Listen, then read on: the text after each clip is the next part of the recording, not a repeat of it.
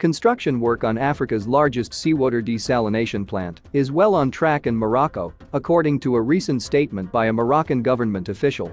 The Douira Seawater Desalination Plant project, which has a $310 million budget and a treatment capacity of roughly 75 million cubic meters of desalinated water per year, is located in the southern coastal city of Agadir, a major city and capital of the region of Souss Massa, with a population of more than 450,000 people.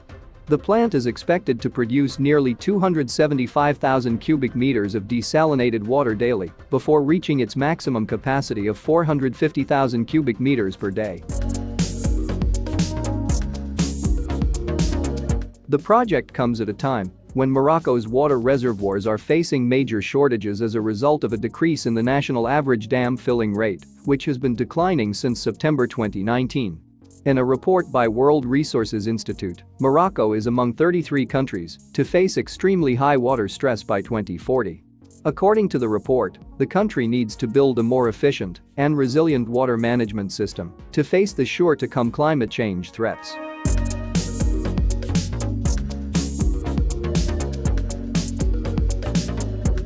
In view of this, Morocco has detailed a number of projects to address future water scarcity, the most important of which is the construction of the Douira Seawater Desalination Station, which will cost an estimated $310 million. It will process about 75 million cubic meters of water per year and offer drinking and irrigation water to the residents of the Chtouka Ait Baha region.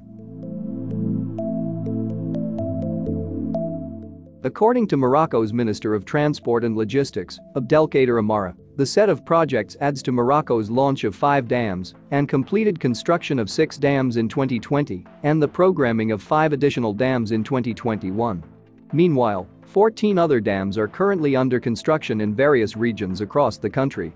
Morocco in recent years has built several water desalination projects across the country to address freshwater scarcity.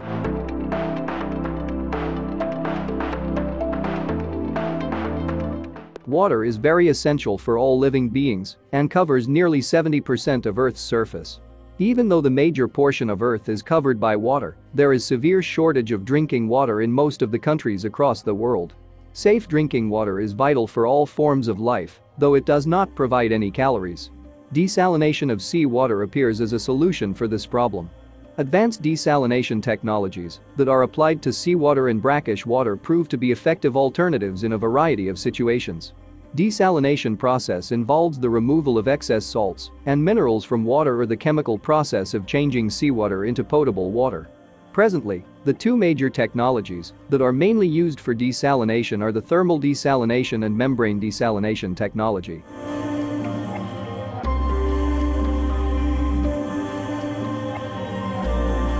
Membrane desalination uses high pressure from motor pumps to separate permeates water from brackish water or seawater based on membrane, while thermal desalination uses heat to vaporize permeate water. Spanish company Abengoa designed the membrane desalination plant in Agadir and are also in charge of construction, which is expected to be in operation by the end of this year. The 275,000 cubic meter per day desalination plant will be the largest plant designed for the combined use of drinking water and irrigation when completed.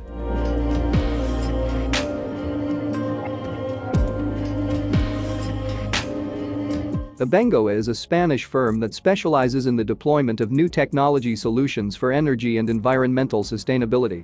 Abengoa has devised a strategy plan to address supply issues in many parts of the world, primarily those affected by water projects. This is especially common in North Africa. The Douira Seawater Desalination Project is part of the company's long-term strategy. Abengoa has been operating in Morocco since 1977, with operations in Rabat and Casablanca. Abengoa has worked on a number of significant projects in the region, including the world's first integrated solar combined cycle plant, which is located near Ain Beni Mathar.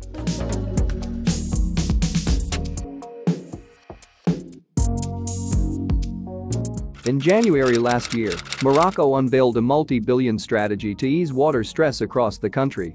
The 2020 to 2027 National Drinking Water Supply and Irrigation Program launched by King Mohammed VI include the construction of dams, irrigation systems, improving the delivery of drinking water to rural areas, the treatment and reuse of wastewater, awareness raising to reduce demand and the preservation of water resources across the country.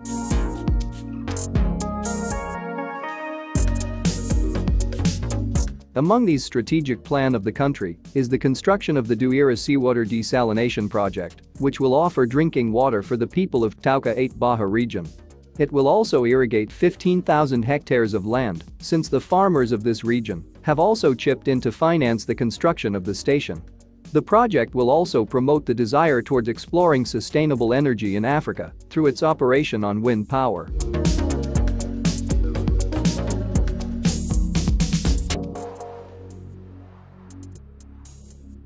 In another development, Morocco's National Office of Electricity and Drinking Water, ONE, is building on its commitment to develop the country's southern provinces by attempting to solve the water scarcity issue in Tarfaya and Laayoune.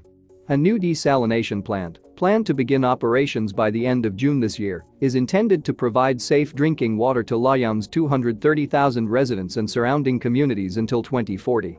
Extreme weather conditions are the primary difficulty ONE faces in southern Morocco as it tries to alleviate the region's water challenges. Climate change is one of the major challenges to Morocco's development plan.